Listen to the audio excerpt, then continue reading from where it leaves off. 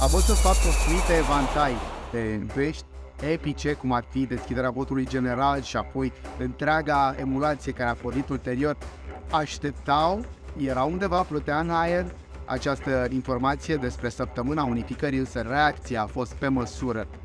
Simt concurenții noștri că au ajuns la o pornă de timp și spațiu extrem de importantă care îi validează ca și supraviețuitori. S-au bucurat foarte mult și așteaptă să vadă ce urmează în această perioadă.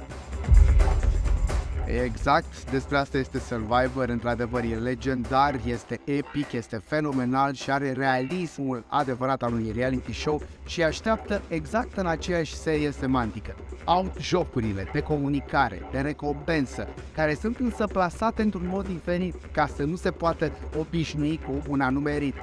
Au în aceeași măsură forța celor care li s-au alăturat pentru a-i mentora, cei patru supraviețuitori eroi din sezoanele precedente, doi au ieșit cu trofeul Survivor deasupra capului, Zani și Delea, apoi fetele, Elena a fost finalistă în sezonul trecut și Oana ultima fată de la războinici în sezonul dinaintea Elenei.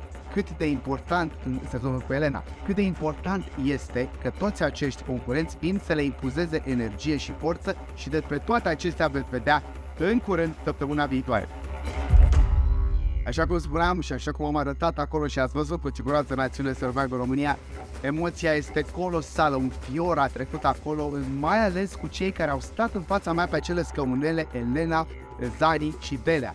De acolo au plecat doar într-un singur fel trofeul deasupra capului băieții. Elena a fost vice-finalistă, sigur, a fost vice-campioana sezonului. A fost extraordinar să-i revăd în această ipostază, mai ales că ne-am întâlnit și acasă în civilizație și le-am urmărit evoluțiile. Sunt absolut inspirațional și aspirațional pentru o întreagă generație de la tânăr la bătrân, de la supraviețuitor până la cei care sunt interesați de fenomenul supraviețuirii. A fost fenomenal.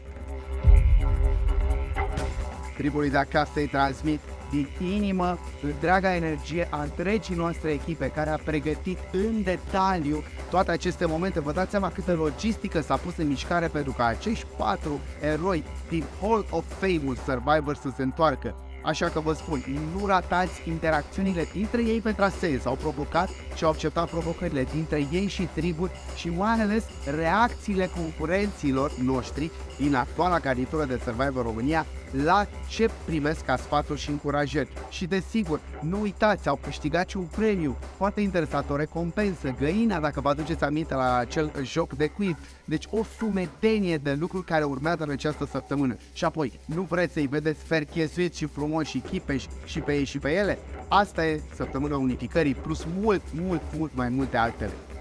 Săptămâna viitoare la Survivor.